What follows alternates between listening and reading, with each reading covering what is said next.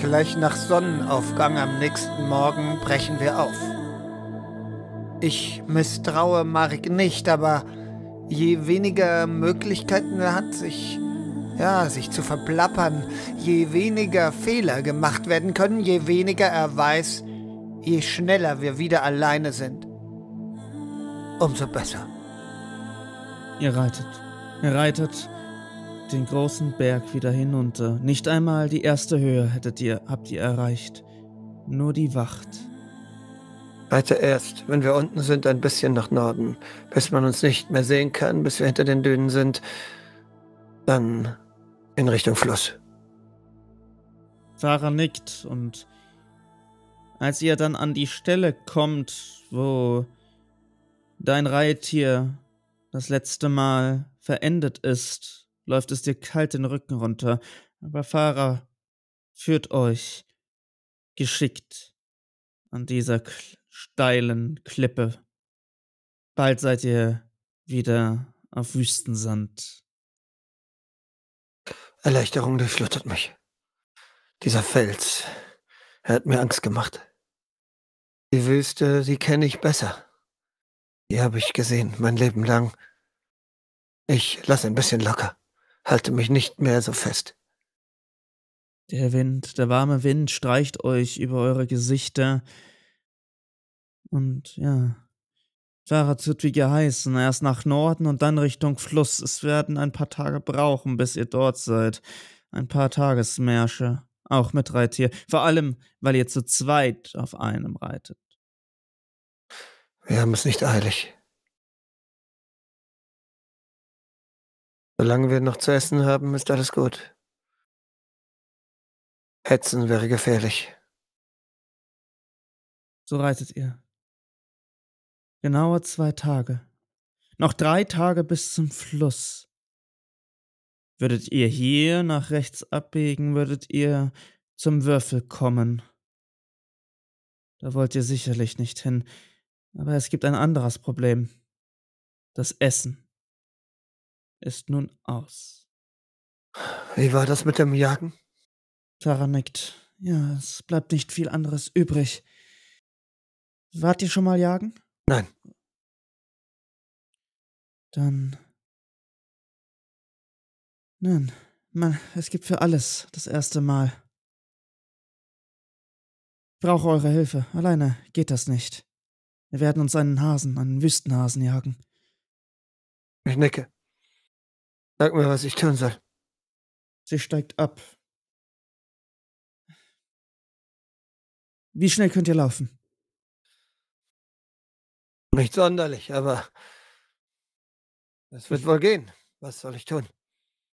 Habt ihr schon einmal von der alten äh, Anstandsdame die Laute gehört, wenn sie sich darüber beschwert hat, dass wieder irgendwer gegen irgendwelche vornehmen Vorschriften verstoßen hat? Ja, natürlich. Ihr wisst auch, wie sie da ausgeschaut hat? Wie so ein großes Huhn, das die Flügel ausbreitet? Und Fahrer lächelt dich leicht an und wedelt mit den Armen. Ja, sie hat im herumgefuchtelt wie so ein Huhn, wie so ein. Ich erinnere mich gut. Wenn ihr das machen könnt, dann, dann seid ihr mir schon eine große Hilfe.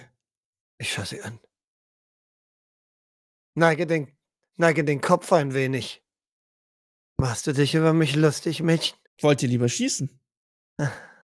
Ich beiß die Lippen zusammen, ich mein's aber nicht wirklich ernst. Schau mich um, rechts, links, hier ist ja niemand. Nur sie und sie. Sie hat alles schon von mir gesehen. Was soll's? Ach, verdammt, was man nicht alles macht, um zu überleben. Und wo? Einfach hier so? Nein. Seht ihr diese Felsformation dort hinten? Ja. Das ist meistens dort, wo sie sich verstecken. Einmal laut schreien und dann, wenn ein Hase rauskommt, ihm hinterherrennen. Ich.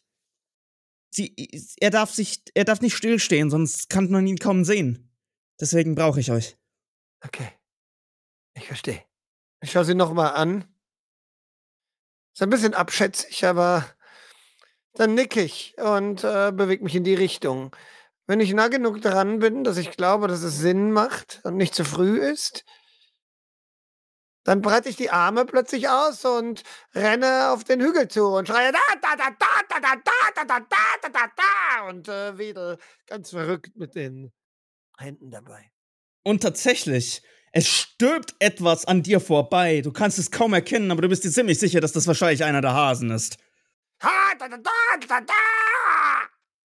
Und es macht ein lautes Flupp-Geräusch und viele Meter vor dir, der Hase war schnell, liegt nun ein totes Bündel. Meine Augen sind groß. Ich blicke rüber zu Fahrer. Dort steht sie mit einer Steinschleuder. Ich schüttel den Kopf. Faszinierend. Dann bewege ich mich auf dieses tote Ding zu. Ich will es sehen. Ich habe wahrscheinlich noch nie ein unzubereitetes totes Tier gesehen. Ein schönes Tier.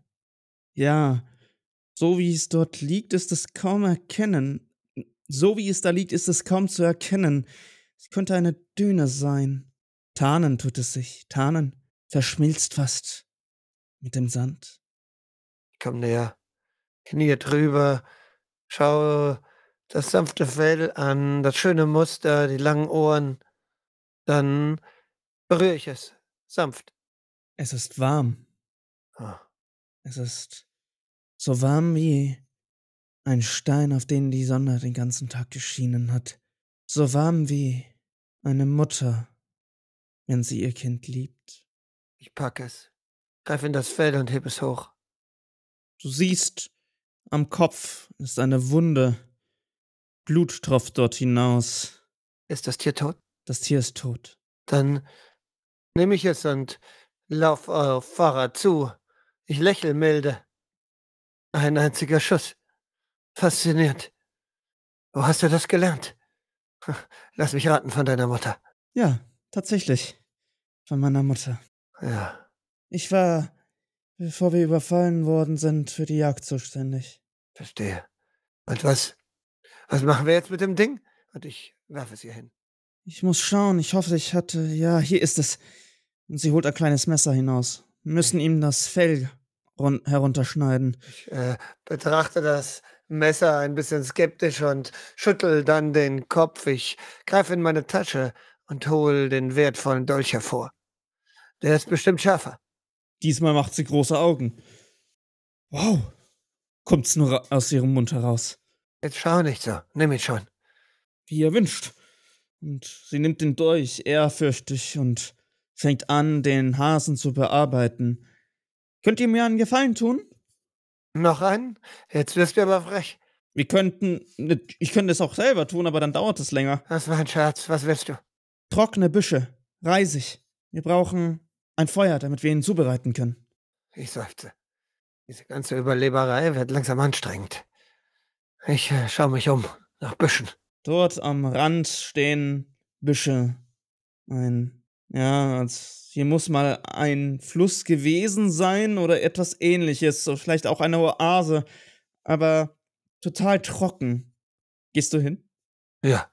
Du näherst dich und holst ein wenig Reisig von den Büschen, schneidest oder knickst die Äste und dann siehst du ihn, einen grünen Busch, einen grünen Busch mit roten Früchten.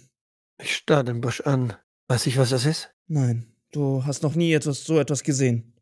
Auch nicht gelesen von? Das könnten Wüstenfrüchte sein, aber das weißt du nicht, ob das wirklich so aussieht. Fahrer! Fa Fahrer ähm, schaut auf und wischt sich die blutigen Hände an ihrem Hemd ab und geht darauf zu. Ja? Was, was gibt es? Dieser Busch da. Was ist das? Warum wächst da hier etwas? Und sie nähert sich leicht dem. Und sie nähert sich langsam. Ich, ich verstehe. Dieser Busch trägt Wurzeln ganz tief ins Erdreich, müsst ihr wissen. So tief, dass man einen Tag dran buddeln könnte, und man wäre noch nicht zu den äußersten Spitzen vorgedrungen. Aber das heißt, dass da unten Wasser ist. Ja, da unten ist Wasser. Vermutlich sind wir dem Fluss schon nahe. Diese Beeren, kann man die essen? Nein. Wenn man sie isst, bekommt man fürchterliche Hallunis fürchterliche Hallunisationen, heißt es. Halluzinationen heißt dieses Wort, Mädchen. Aber das ja. ist nicht schlecht. Kann man sie berühren oder ist das auch gefährlich? Weißt du das? Nein, das weiß ich leider nicht, Herr. Uns wurde als Kindern verboten, sie auch nur anzusehen. Ich verstehe. Aber diesen Luxus haben wir nicht. Und ich ähm, gucke in meiner Tasche nach einem Tuch oder ähnlichem und dann berühre ich die Beeren nur mit dem Tuch und pflücke sie ab. Roter Saft läuft von diesen Ästen, wenn du sie pflückst. Es hat einen lieblich süßlichen Geruch. Sie riechen so, so wie Himbeeren oder diese anderen exotischen Früchte, die man dir gebracht hat aus den anderen Ländern, als du noch essen durftest. Ich Richtig daran. essen. Genieße den Geruch, weiß aber die von der Gefahr und so packe ich einige, so viel ich in dieses Tuch hineinpacke, da hinein eben und äh, schnür es zu und packe es in meine Tasche. Wenn wir Zeit haben, werde ich mich damit beschäftigen, wenn wir länger rasten.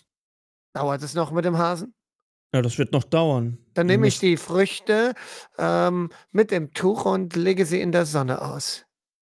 Ich schneide sie an, dass die Flüssigkeit sich verbreiten kann und dass die Früchte trocknen. Währenddessen hat Farah ein Feuer entfacht und dört den Hasen. Die Hälfte für jetzt zum Speisen, die andere Hälfte sollt ihr mitnehmen.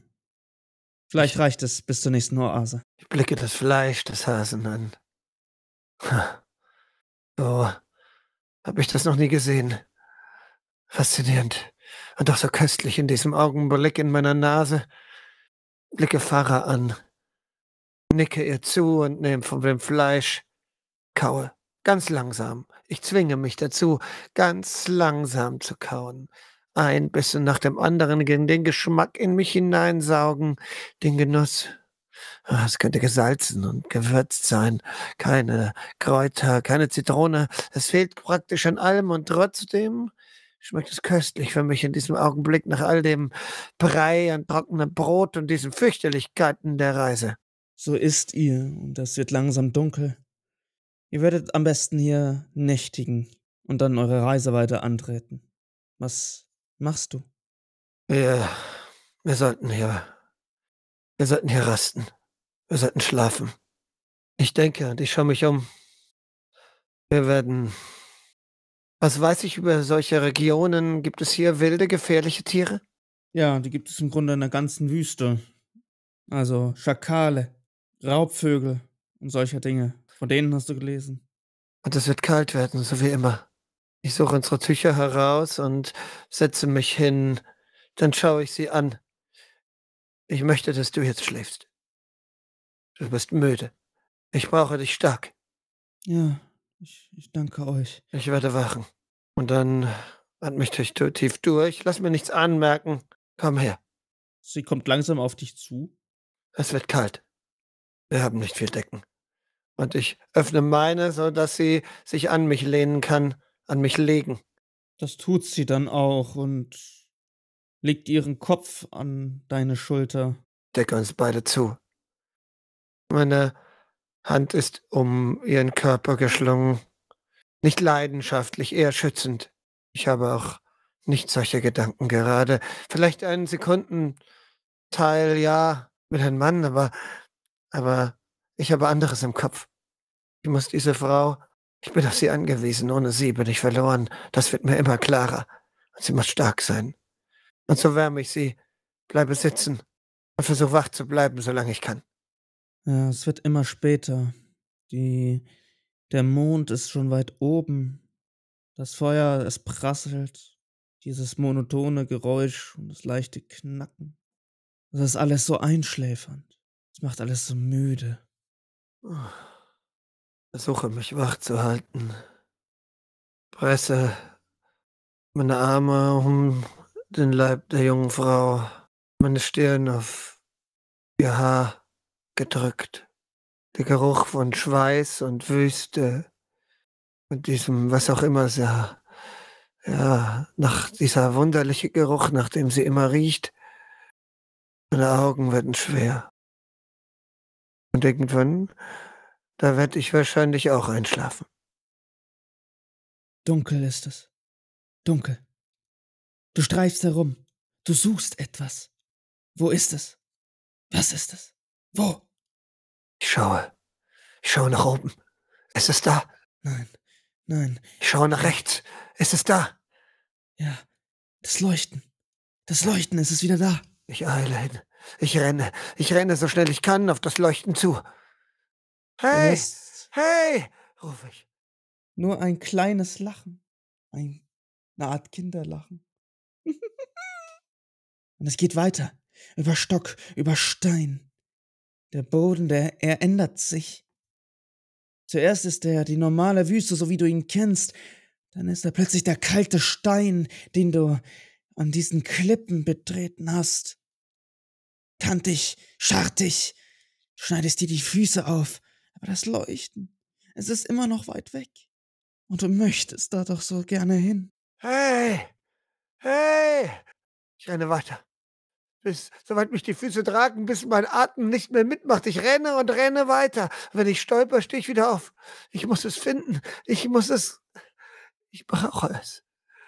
Ich, ohne es, ohne es bin ich verloren. Es ist meine einzige Chance. Koste es, was es wolle. Und, und wenn, wenn ich, ich renne. Du rennst weiter und plötzlich wird dir kalt. Der Boden ändert sich in Schnee. Hä? Was? Ich schaue mich um. Eisiger Wind peitscht dir ins Gesicht. Eis. Eis überall, kaltes Eis. Ich kenne das nicht. Eis. Es war mal. Es war mal in einer Zutat dabei. Eisblöcke aus dem Norden hergekarrt. Ich habe davon gehört, es kann vom Himmel fallen. Es kann das Wasser hart machen. Ich habe davon gelesen, alle möglichen Geschichten. Und was mich verwundert ist, wenn ich es doch nicht kenne, wie kann ich es mir vorstellen? Ich öffne die Hand. Du siehst dort, ja, in deiner Hand liegt etwas. Ein Ball. Er ist weich, aber kalt. Ich schließe die Hand ein bisschen um den Ball herum, drücke die Finger um an den Ball. Wasser läuft dir die Finger hinab. Ich schaue das Ding an, ganz verblüfft, ganz verdutzt. Und dann kriegst du einen ebensolchen Ball gegen den Kopf. Was? Er ist nicht hart, nur kalt. Ich hier bin ich, hier bin ich. Zucke Fahrer, zusammen. Fahrer winkt dir. Na, du alte Schnarchnase. Ich starre sie Und an. Sie wirft doch mal einen Ball auf dich. Du kriegst dich nicht, du kriegst dich nicht. Ich, ich, ich nehme den eigenen Ball und werfe ihn ihr entgegen. Trifft sie am Kopf. Plötzlich im Flug ist dieser Eisball in einen Stein. Ein St sie hat es sich verwandelt. Sie fällt nach hinten um. Nein, nein, ich renne auf sie zu. Dort ist sie aber nicht mehr. Dort ist nur dieser Hase. Dieser Hase. Ich starr den Hasen an, blutig im Schnee liegend. Ich starr ihn an. Roter Schnee. Dann dreht sich der Kopf des Hasens zu dir. Du ich suchst mich. Ich, ich taumel rückwärts. Der tote, blutige Hase, er spricht. Ich taumel rückwärts. Ich falle in den Schnee. Und dann hörst du seine Stimme weiter in deinem Schädel. Du suchst mich, aber du suchst mich auf der falschen Weise. Was? Wo? Wo? Wo bist du? Sag es mir. Wo finde ich dich? Wie finde ich dich? Du findest mich in deinem Herzen. Und dann wachst du auf. Benommen rappel ich mich auf, taumle über die Dünen hinter einen dieser Büsche, um mich zu erleichtern. Ich habe von Visionen gehört. War das sowas? Eine Vision? Ich weiß es nicht. Wenn ich fertig bin, drehe ich mich um wieder, gehe über die Düne, schau nach Pfarrer. Fahrer bereitet gerade alles zum Aufbruch vor. Da liegt noch dein Tuch mit den Früchten. Sind mittlerweile getrocknet. Du findest mich in deinem Herzen. Dann was heißt das? In meinem Herzen. Was soll das bedeuten? In meinem Herzen. Ich halt mir das Herz, das kalte, pochende Herz. So kalt wie der Schnee. Was soll ich da finden? Da war nie was. Da ist, seit mein Vater tot und meine Mutter mich verbannt hat, nichts mehr, schon lange nicht. Was soll ich nur finden? In meinem Herzen. Geistesabwesend wandere ich zu den Früchten. Sind sie trocken? Ja, sie sind getrocknet. Dann packe ich sie zusammen. Ich werde sie später weiterverarbeiten. Packe sie in meine Tasche. Und dann steht Fahrer plötzlich hinter dir. Ha! Schleich dich doch nicht so an. Oh, es, es tut mir leid, ich wollte euch nicht erschrecken. Äh, ich wollte euch nur fragen, ob ihr auch ein wenig Wasser wollt. Ja, ja, ja, danke. Danke dir. Hier. Und sie lächelt dich an. Trinkt ruhig, ich habe mir extra einen zweiten Wasserschlauch geben lassen. Bis zur nächsten Oase sollte es nicht weit sein, dann können wir sie wieder auffüllen. Nicke. Sie schaut dich ein kurz an, lächelt dir zu und geht dann wieder zum Kamel, um dort die Sachen final festzuschnurren. Gut. Bist du soweit? Sie nickt. Ja. Seid ihr auch bereit? Wir werden noch ungefähr einen halben Tag reisen und dann sind wir an der Oase. Dort füllen wir am besten die Schläuche auf, stocken unsere Vorräte auf und dann geht es weiter bis zum Fluss. Knicke. Hast du schon mal Schnee gesehen? Was ist Schnee? Ja. Ich weiß es nicht.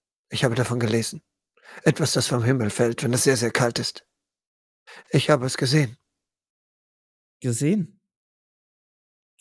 War euch kalt in der Nacht? Nein, ich habe davon geträumt. Von etwas, das ich nicht kennen kann. Hm. Ich frage mich, was es bedeutet. Ist es eine Botschaft? Eine Falle? Träume, Fahrer. Träume sind das, was unser Herz begehrt. Das hat mein Vater immer gesagt. Hm. Vielleicht wollt ihr ja diesen Schnee sehen. Träume sind das, was unser Herz begehrt? Ja, das, das ist das, was mein Vater immer gesagt hat. Lass uns weiter. Ja. Der Fluss ist nicht mehr weit, oder? Nein, wie gesagt, in einem halben Tag sind wir an der Oase und von dort aus noch einen Tagesmarsch. Gut. Dieser Traum. Deine ganzen Gedanken schwirren um diesen Traum. Also merkst du es gar nicht, als ihr plötzlich bei der Oase seid und ihr anhaltet. Ah, ich schrecke auf, schau mich um. Das hier ist die letzte Oase vom Fluss. Ich schaue mich um. Was kenne ich diese Oase? Weiß ich was über sie? Habe ich von ihr gelesen? Nein. Welche Bedeutung hat sie im großen Scheme meines Reiches? Du hast nichts von dieser Oase gelesen. Die Oasen werden einfach nur als allgemeines Thema aufgegriffen, dass sie für euren Wohlstand sorgen und dass Städte drumher oder Dörfer drumherum gebaut sind. Und hier seid ihr offensichtlich in einem der Dörfer. Ich schaue mich um. Kann man hier Handel treiben?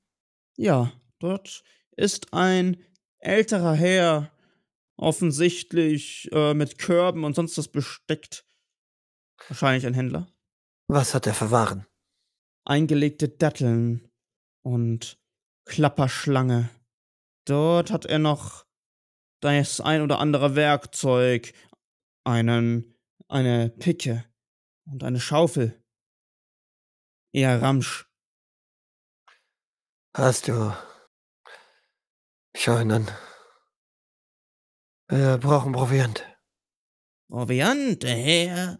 Natürlich, natürlich, feinste Datteln, feinste Datteln aus den Tiefen unseres Landes. Ja, ja. Pack ein. Und etwas hast du Mehl? Nein, äh, Mehl habe ich nicht, aber gutes Fladenbrot, frisch gebacken, nur drei Tage alt. Ja, auch davon nehmen wir. Sehr wohl, sehr wohl. Wie wollt ihr denn zahlen, der Herr? Greif in die Tasche. Da ist mein Beutel mit den Münzen. Ich denke nach. Diese Leute, sie haben nicht viel. Münzen werden sie nicht häufig sehen.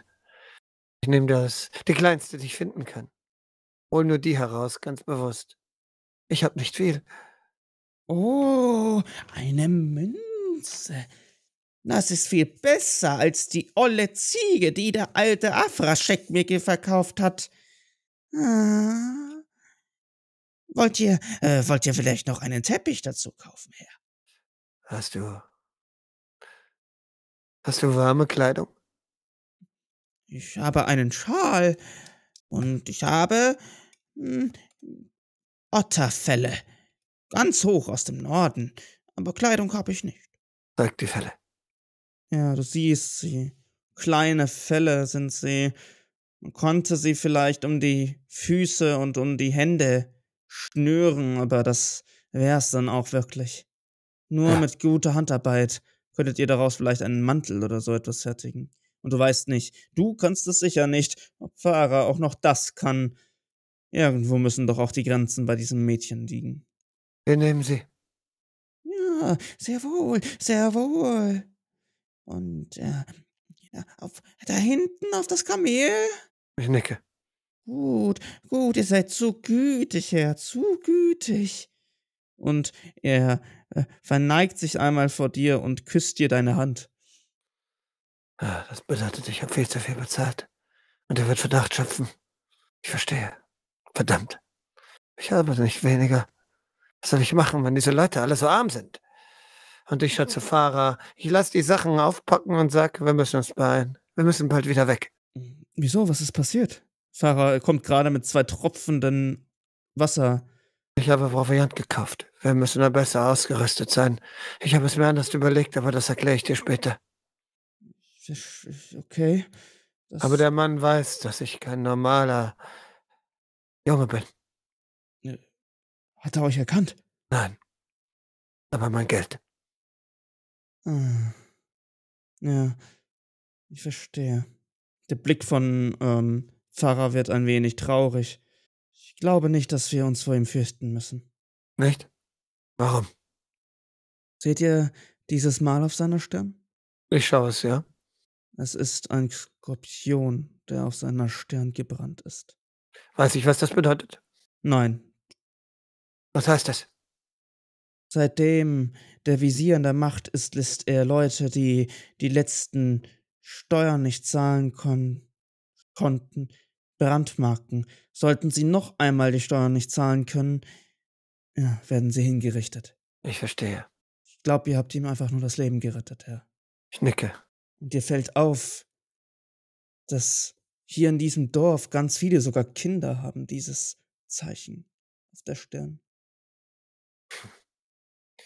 Der Visier. Er zerstört dieses Land und er begreift das nicht mal.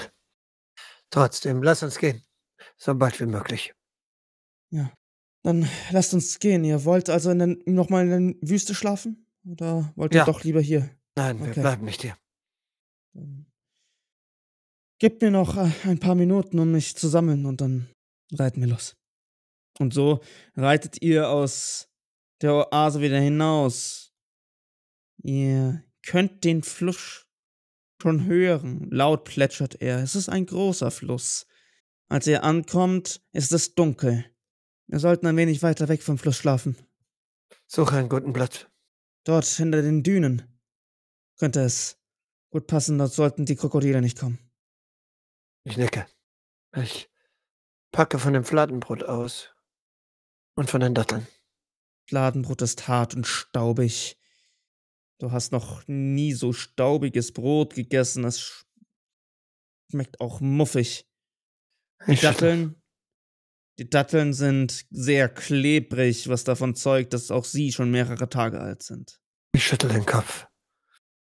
Ich werde mich nie an diesen Fraß gewöhnen, aber was soll man machen? Ich schneide es auf, das Brot, und stopfe die Datteln rein und gebe Farah einen Teil davon. Danke, Herr. Ich nicke. Wie viel habt ihr gezahlt? Die kleinste Münze, die ich hatte. Wisst ihr, was sie bedeutet? Ich Könnt ihr denke, sie beschreiben? ich kenne die Münzen. Ich denke, ich habe von ihnen gelesen. Es ist die kleinste Währung, aber ich weiß, dass für solche Leute selbst die allerkleinste Währung eigentlich zu viel ist. Ihr habt gut bezahlt. Aber ihr habt auch wahrscheinlich ein Menschenleben gerettet. Dass so eine kleine Münze so viel verändern kann, ist das Traurigste an dieser ganzen Geschichte. Ich werde ihn bestrafen. Ihn und alle, die mitgemacht haben. Hm. Wir müssen eine Entscheidung treffen, Fahrer. Was für eine Entscheidung, Herr. Ich schaue nach Norden und dann nach Süden. Mein erster Instinkt sagte mir, dass ich nach Süden soll, zu den Dunda, weil das der Ort ist, wo man am wenigsten nach mir suchen wird. Aber das war ein, eine Entscheidung aus Angst, ohne Überlegung. Ich weiß nicht, was es dort gibt und was uns dort helfen kann. Dass ich nicht zu meinem zu meinem Onkel kann, das ist klar. Aber ich habe von Schnee geträumt. Bei den Dunda gibt es keinen Schnee, oder?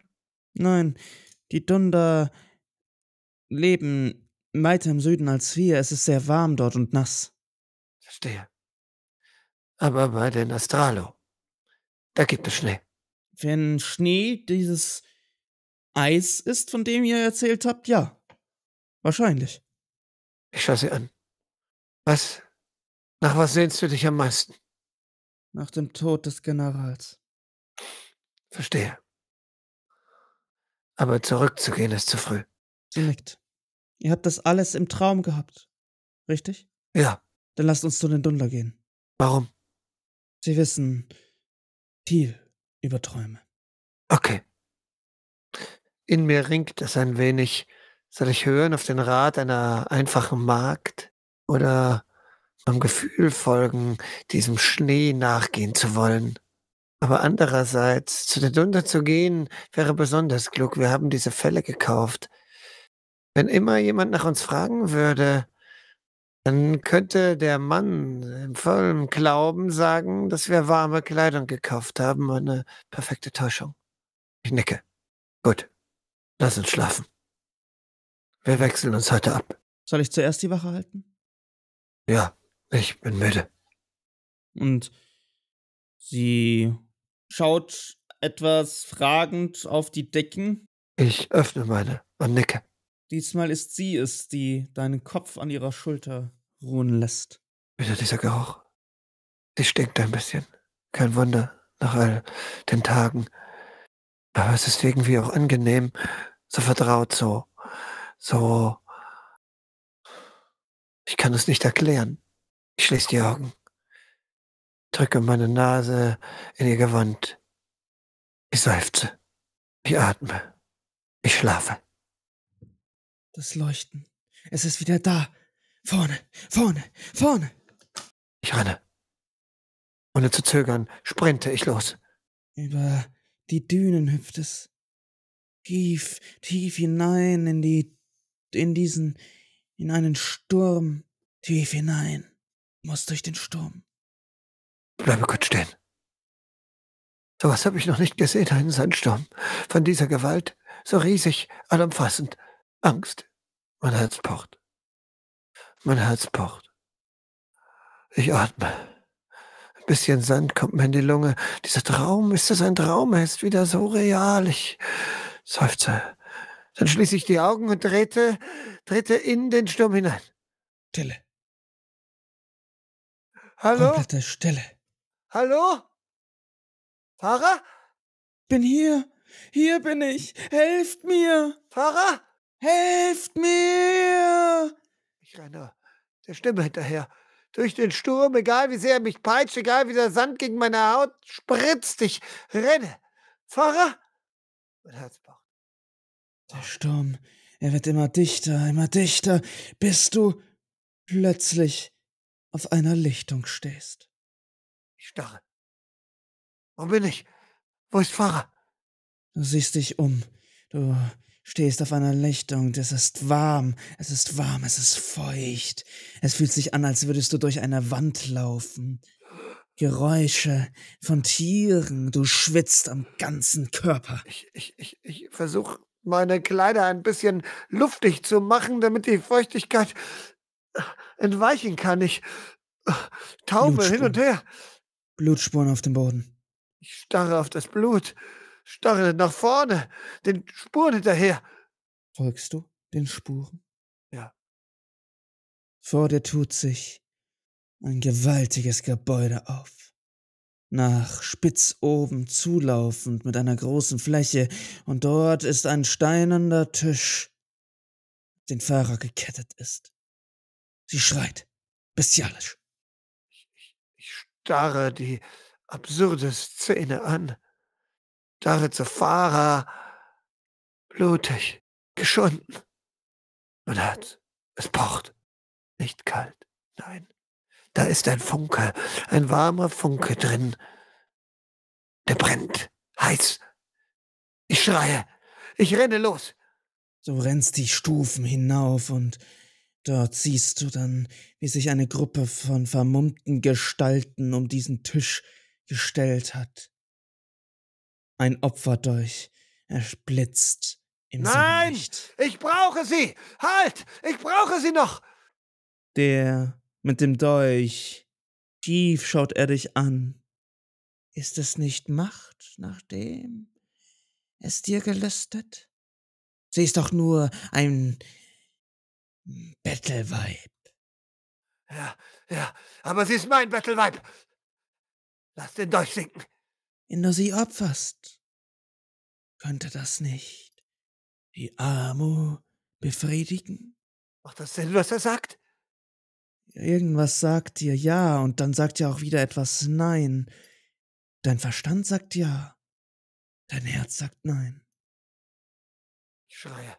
Lass sie los! Und dann verpuffen die Gestalten. Und Farah liegt in deinen Armen. Du wachst auf. Ah, ah, und instinktiv und auch voll Ärger erfüllt stupse ich sie so stark ich kann von mir weg. Ah, was, was ist Ah. los? Ich starre sie an. Wütend. Kälte in meinem Herzen, sie ist wieder da. Farah schaut dich einfach nur verdutzt an. Sie weiß gar nicht, was hier jetzt los ist. Ich bin der zukünftige Pharao. Ich bin der angestammte Herr der Welt.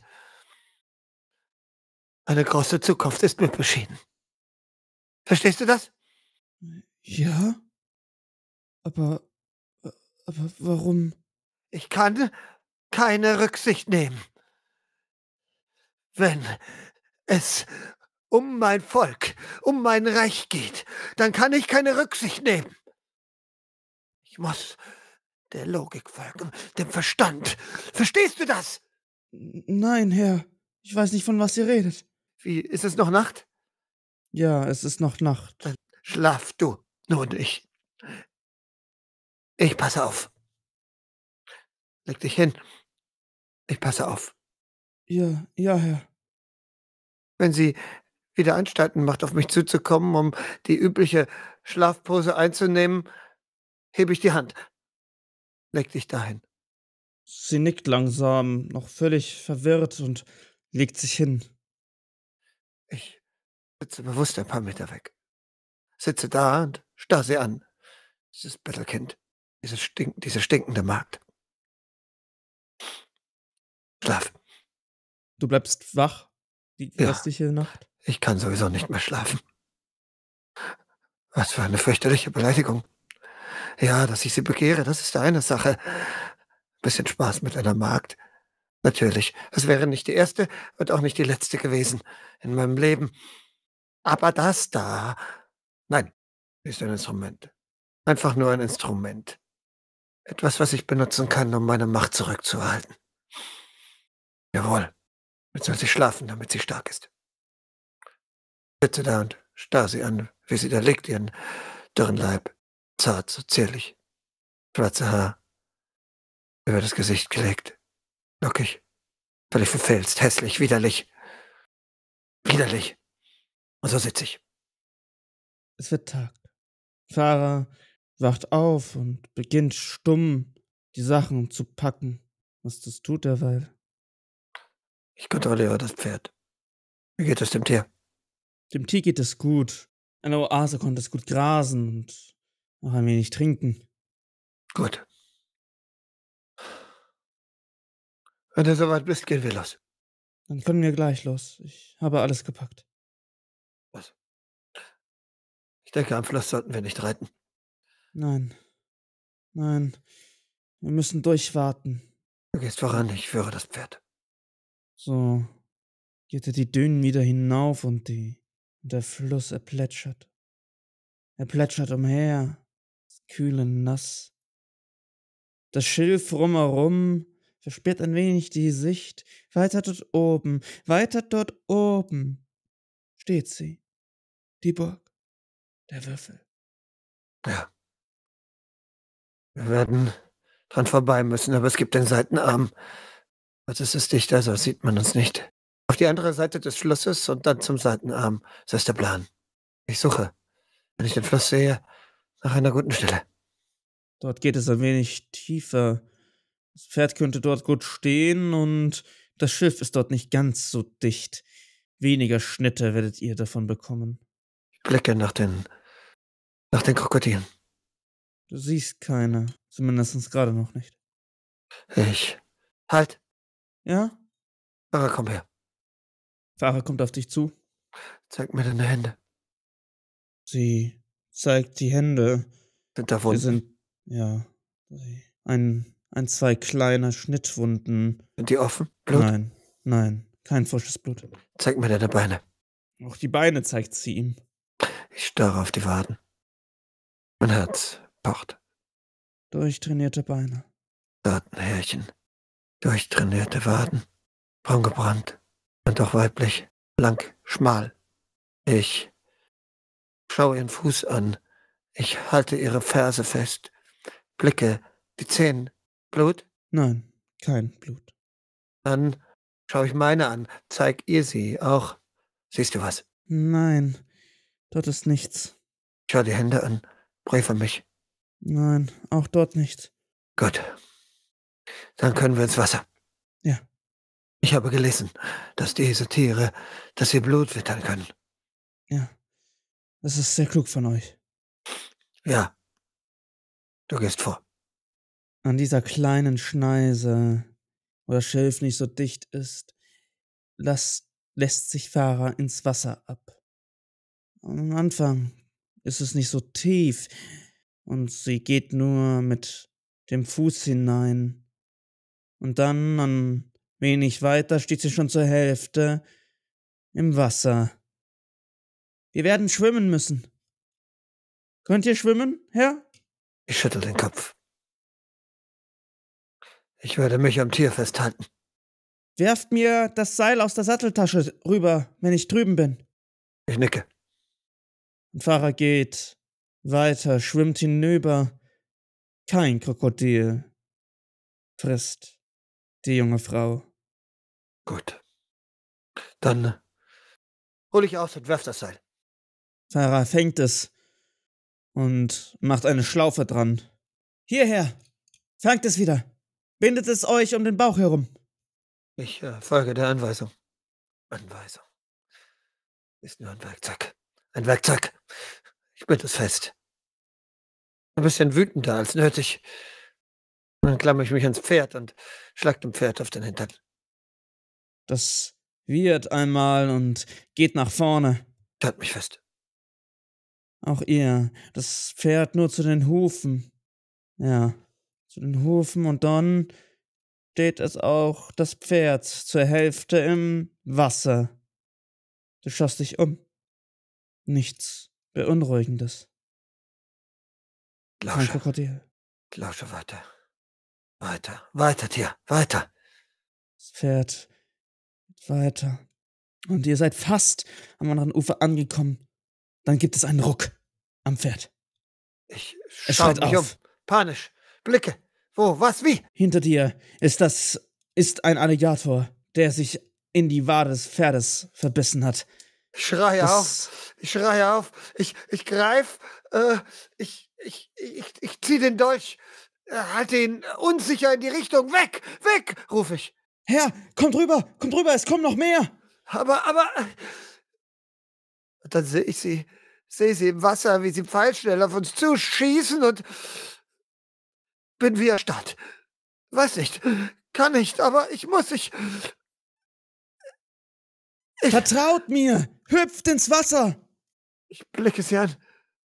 Panisch steht, steht sie dort, sie hält das Seil schon in der Hand. Das Seil, was um deinen Bauch gewickelt ist.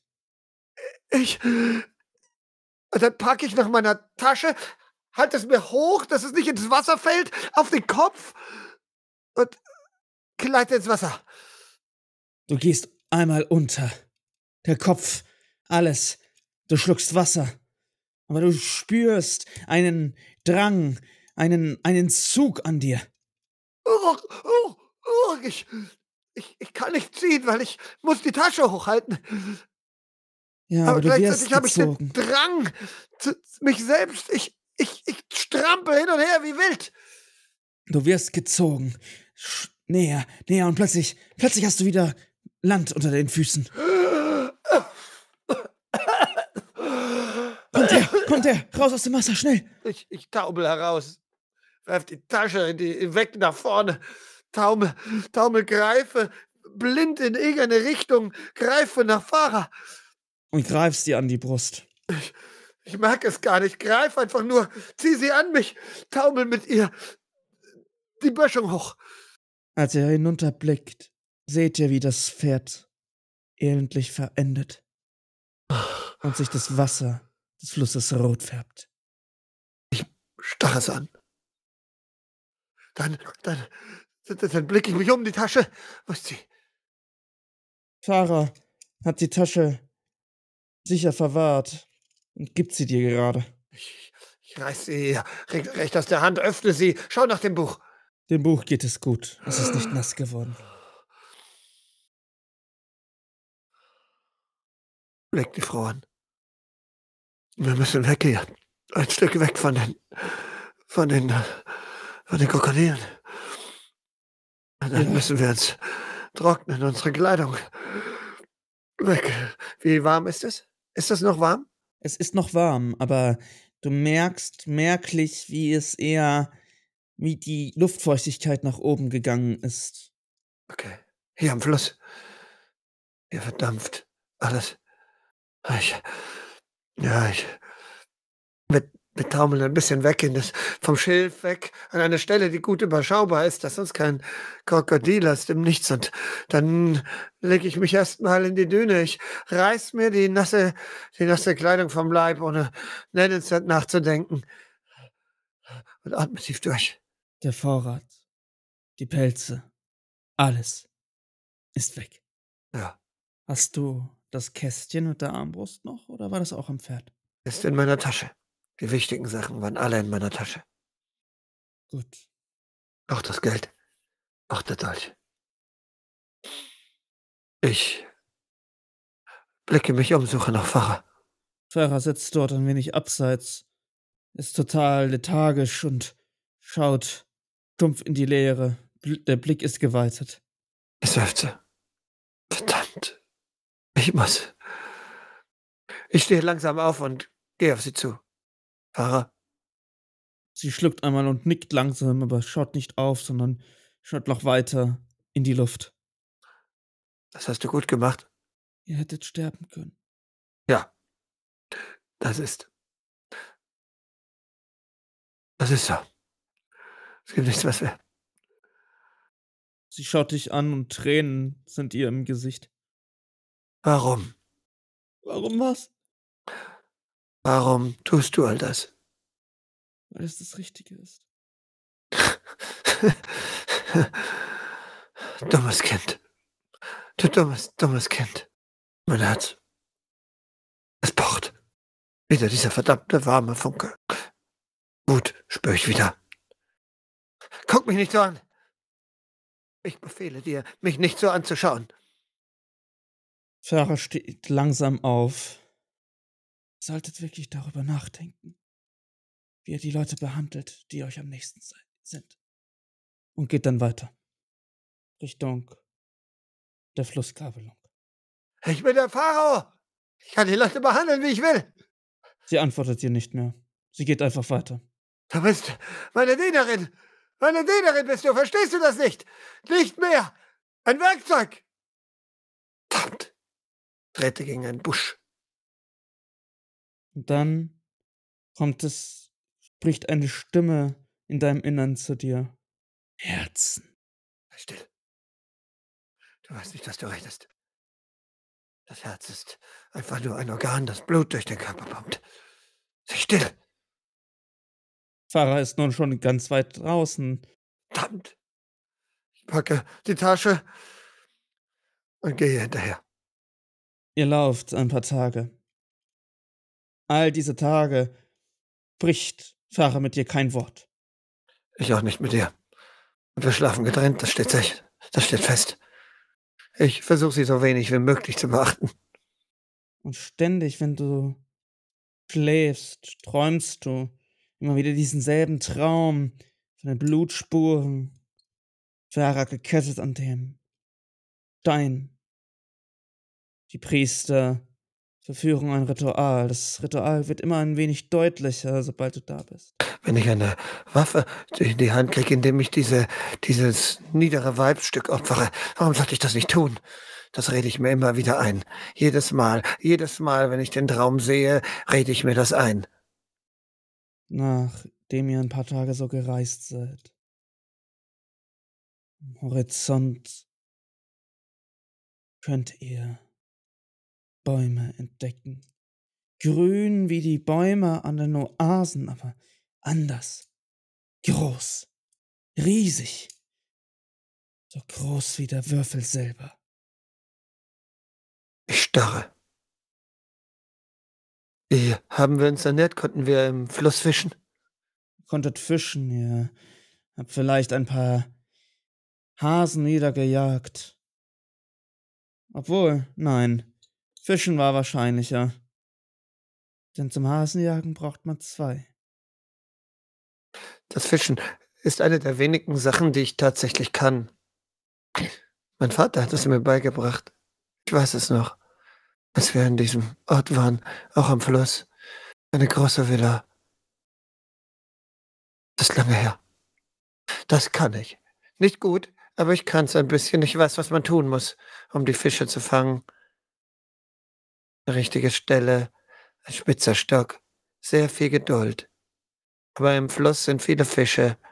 Wenn man geduldig ist und wartet, dann gibt es den richtigen Moment. Ich bin nicht sehr geschickt, aber mit der Zeit wird es mir vielleicht gelingen, den einen oder anderen zu fangen. Und wenn ich dann einen habe, dann blicke ich auf. Kurz vergessend, kurz vergessend der Streit, schaue ich ganz stolz auf, den Fisch hochhaltend, lachend zu Fahrer. Sieh, ich hab einen! Sie blickt dich nur an und dreht sich um und macht Feuer bereit. Ich seufze. Werft den Fisch hier hin. Bereit ihn zu. Aus dem Augenwinkel betrachte ich sie. Dieses dieses anmaßende Mädchen. Was fällt dir ein? Was fällt dir ein, mir gegenüber sich so sich so zu verhalten, so störrisch? Sie gehört mir. Sie ist meine Dienerin. Mein Eigentum eigentlich, wenn man es genau nimmt. Alles gehört mir. All das hier. Was fällt dir an? Wenn ich sie opfern will, dann werde ich sie opfern. Diese störrische Art mochtest du einmal an ihr, erinnerst du dich denn nicht? Wieder diese Stimme. Ja. Aber ich kann mir das nicht erlauben. Ich kann mir den ganzen Zorn nicht erlauben. Und ich kann mir das alles hier nicht erlauben. Diese ganzen Gefühle, geh weg. Du hast mich schon so lange eingesperrt. Du weißt warum. Stimme zieht sich wieder nach hinten. Du weißt ganz genau warum. Du bist gefährlich. Logik. Plan. Das ist es. Ich überlege mir zum hundertsten Mal, was ich tun soll. Was will ich bei den Donda? Ich muss herausfinden, was die Träume bedeuten. Das Ja. Und ich brauche Verbündete. Die Dunder, das weiß ich, die haben viel davon, gegen mein Recht zu gehen. Ich kann ihnen viel schenken. Sie sind doch Wilde. Sie haben kein Wissen. Sie sind dumm. Ich kann ihnen, ich kann ihnen die Geheimnisse der Welt schenken.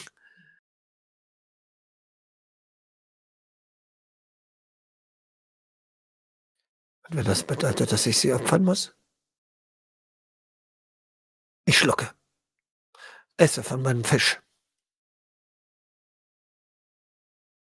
So vergeht der Abend. Legt ihr euch auch nochmal schlafen? Ja, wieder abwechselnd, wie immer. Getrennt voneinander liegend. Wer schläft zuerst? Sie. Die Geräusche dieses, dieser Umgebung sind so seltsam. Laute Geräusche sind es. Es ist nicht diese Ruhe der Wüste, wie du sie jetzt kennengelernt hast.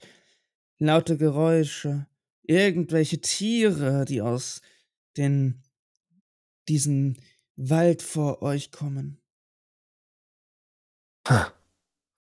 Voller Leben. Auch die Wüste ist voller Leben, aber das hier ist was anderes. Die Wüste ist eine Melodie, eine Melodie des Lebens. Das hier ist scheppernd, wild, überall, allgegenwärtig. Ein Geschrei. Irgendwann wecke ich sie. Fahrer, du bist dran. Stumm setzte sich auf, nimmt den Platz am Feuer ein und hält Wache. Aber ich kann noch nicht schlafen. Ich liege wach und Fahrer? Ja. Ich weiß, du bist wütend auf mich. Es ist nicht dein Recht, wütend zu sein, aber du bist es trotzdem. Du verstehst nur nicht. Du verstehst nichts. Schlaft. Wenn ihr mich beleidigen wollt, dann könnt ihr das auch noch am Tag. Ich will dich nicht beleidigen.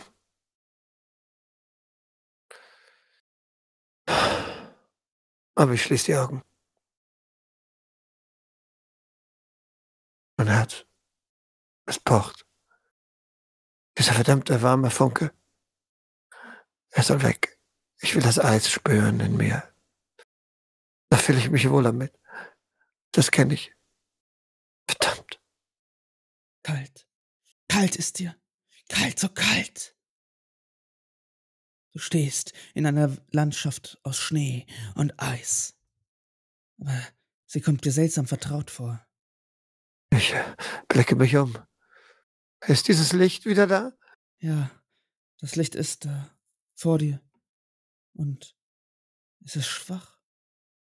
Dieses, das Funken wird, das, es geht fast aus, es flimmert. Halt, warte, geh nicht aus. Ich bin doch da. Ich renne drauf zu. Du rennst drauf zu und dann wird dir klar, warum diese Gegend dir so bekannt ist. Es ist der gleiche Traum, den du immer hast. Und nun ist dieser Wald, diese Lichtung, ist voller Eis und Schnee bedeckt. Die Stufen, die Stufen der, des Tempels, ja, sie sind glatt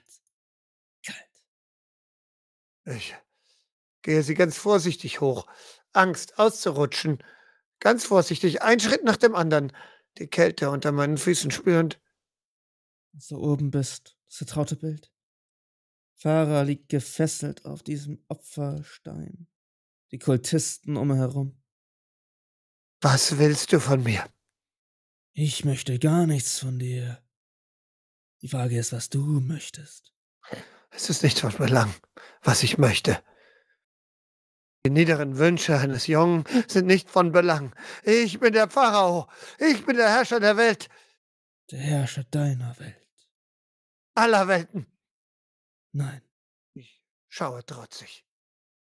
Die Amo sind nicht ohne Grund in ihre Gebiete aufgeteilt.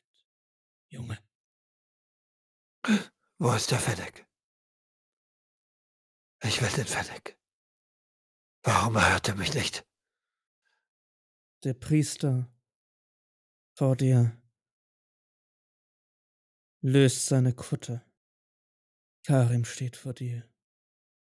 Du hast was vollbracht, Junge.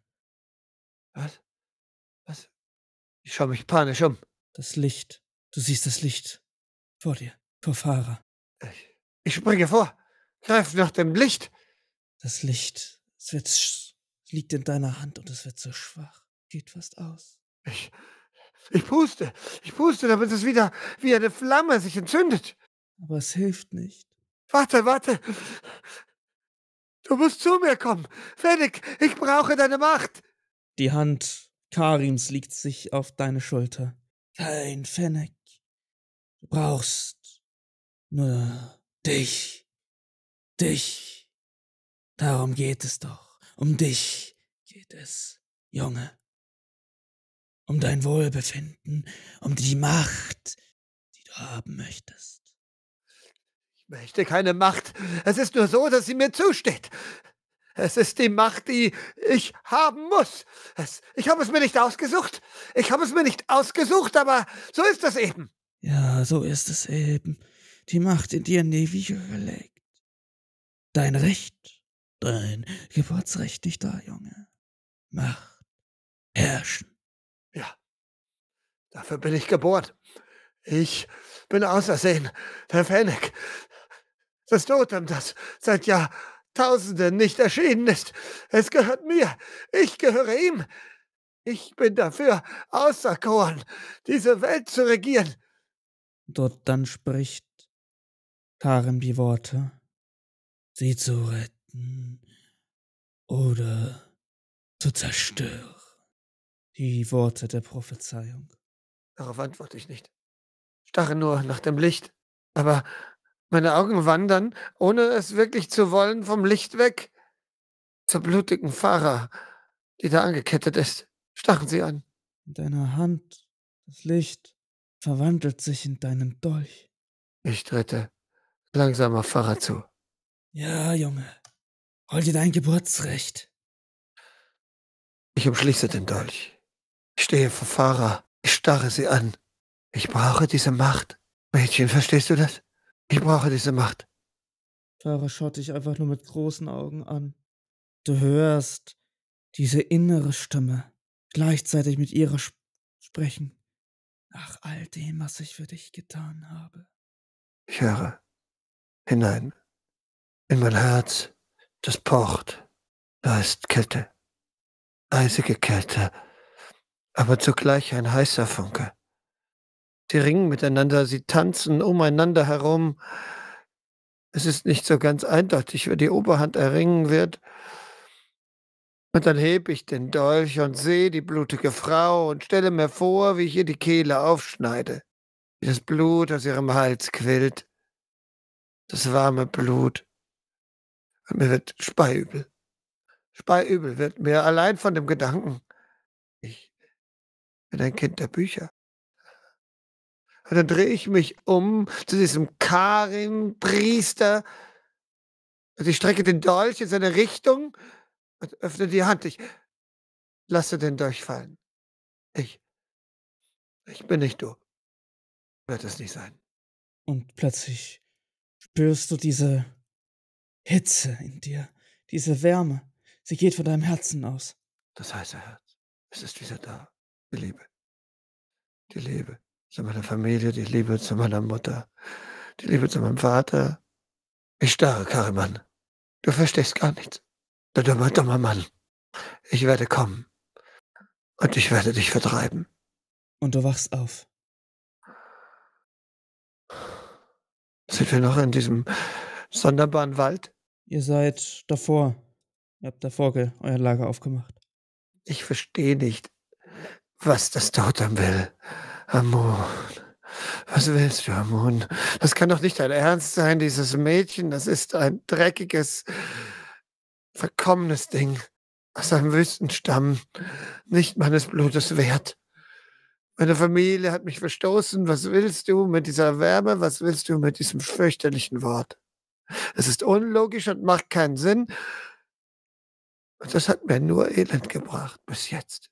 Schaust du auf Sarah? Mein Blick wandert zu ihr, ja. Du hörst das Pochen, laut Pochen. Du hörst Geschrei, elendes Geschrei, Wimmern, Wimmern hörst du von einer Frau.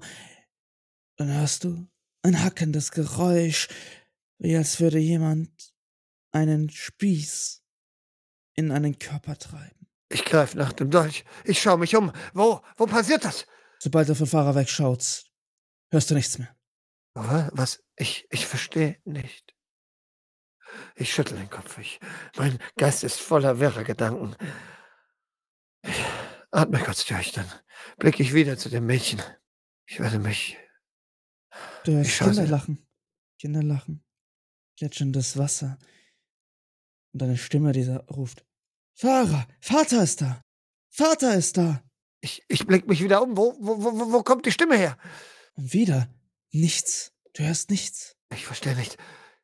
Ich, ich, ich stehe auf, strecke mich kurz, wuschel mir selber durchs Haar, ich schüttel mich, ich, dann gehe ich langsam auf sie zu, bis ich vor ihr stehe. Die Stimmen, sie werden immer lauter, wenn du auf sie zugehst. Ich komme näher. Starr sie jetzt an. Vater, Vater, wo bist du nur gewesen? Ich schüttel meinen Kopf, schlag mir gegen die Ohren. Was? Hör auf, was? Schau wieder weg, schau zu Boden. Die Stimmen sind wieder weg. Ich werde so warm plötzlich. Warm. Heiß. Ich schwitze. Ich krieg kaum Luft. Ich. Fahr aber rauf! Fahr aber rauf! Wir müssen. Oh. Wir müssen hier weg. Was, was, was ist los? Was ist los? Was ist los? Ich schau sie an. Warum verletzt du mich so? Was? Was? Warum? Was ist los, Herr? Sind Tiere in der Nähe? Was meinst du damit? Warum verletzt du mich so? Du weißt ganz genau, ich habe es dir erklärt. Ich bin der Pharao, du bist eine Dienerin. Ich behandle dich, wie ich dich eben behandeln muss. Aber das habe ich doch gar nicht gesagt. Was? Ich starr sie an. Und dann kommt mir der Gedanke. Sie hat es gedacht.